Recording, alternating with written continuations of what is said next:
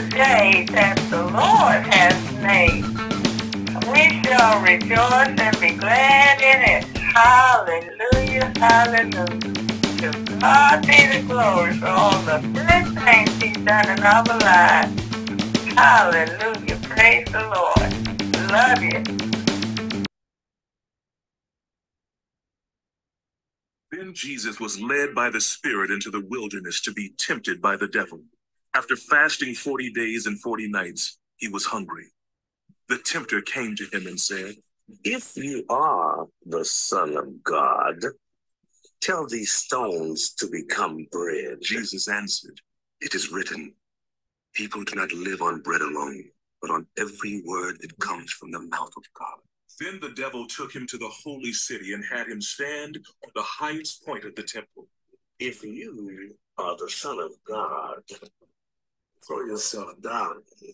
For it is written, He will command His angels concerning you, and they will lift you up in their hands so that you will not strike your foot against a stone. Jesus answered him, It is also written, Do not put the Lord your God to the test. Again, the devil took him to a very high mountain and showed him all the kingdoms of the world and their splendor.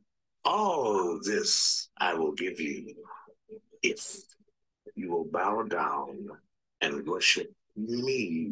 Away from me, Satan. For it is written, Worship the Lord your God and serve him only. Then the devil left him, and angels came and attended him. Hey, everybody, I'm excited. Got a new project I want to try out Get for encouragement, for growth, and edification for all of us. Those who profess themselves to be Christians is to let's read the entire Bible. One chapter at a time for New Testament, one chapter at a time for the Old Testament. Use the New Testament in the morning and at uh, nighttime use the Old Testament and incorporate it as part of your prayer, meaning it just becomes a routine thing with your prayer life. So what I'm do is by being an example, is actually go ahead and do that as well using YouTube. I recommend you do uh, subscribe so you can be notified when the chapter that you need to read comes up and you can go and keep up with it. Subscribe to the channel. You go to the channel and catch up with the ones that you may have missed.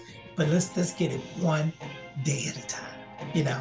And what I like to do is I'm excited. I think it's double because we really do need to read the Bible for ourselves. Everybody. And I encourage many of you to do that. The reason I'm doing this is because, like I said, here's the title, How to Read the Entire Bible, Read It One Day at a Time with your morning evening prayer and use an audiobook to help you read and pronounce some of those words, especially when you get into the Old Testament. I'm telling you something else.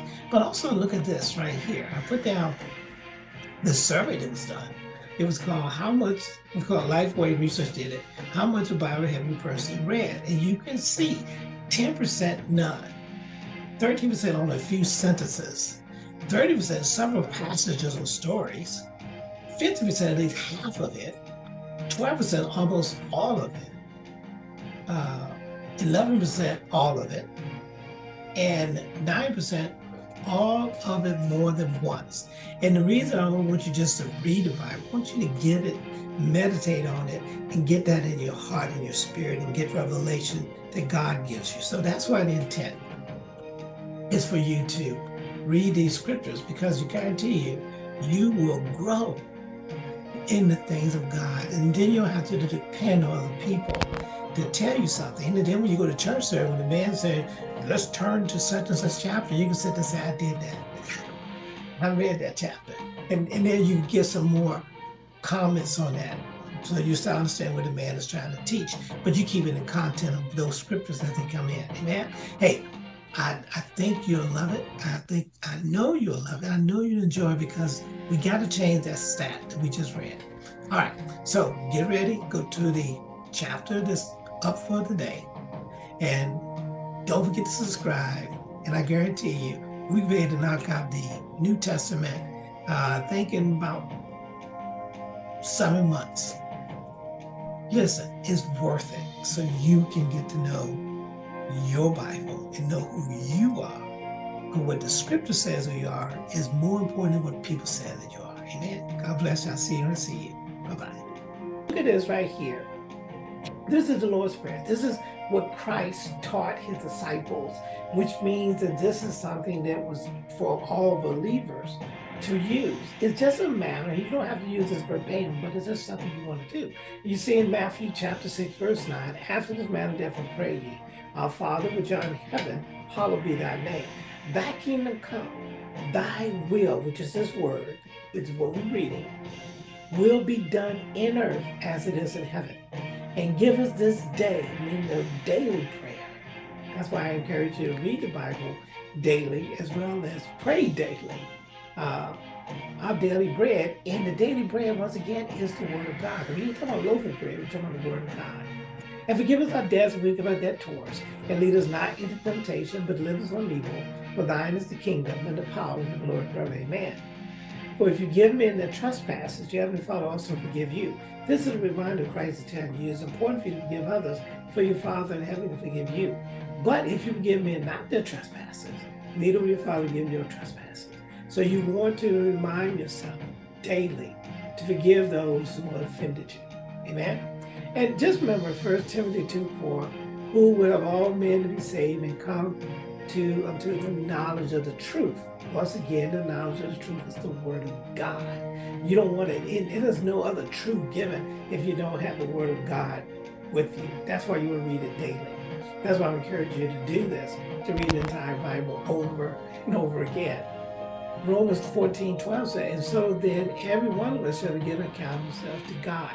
And God is going to hold you accountable for understanding his word. He's not going to sit there and say, well, your pastor didn't tell you I got it. No, he's going to sit there and say, I told you to study. I told you to read the word of God. Amen? So let's want to do that. So, but the main thing is we can do this. We can read the Bible, the entire Bible, especially the entire New Testament. Uh, one day at a time, one chapter at a time. And I hope you enjoyed. And don't forget, I do recommend pray daily too, just like Christ taught us to pray. Pray daily and pray His will, pray His word. That's what, therefore, when you ask for things, you should line up with His word. Amen. And He wants you to love one another. God bless. I'll see you later. Don't forget to subscribe. If you subscribe, every time we bring a chapter out, you'll be notified then you go ahead and read that, do that reading for yourself. Amen? All right, God bless you. I'll see you when I see you. Day that the Lord has made. We shall rejoice and be glad in it. Hallelujah, hallelujah. To God be the glory for all the good things he's done in our lives. Hallelujah. Praise the Lord. Love you.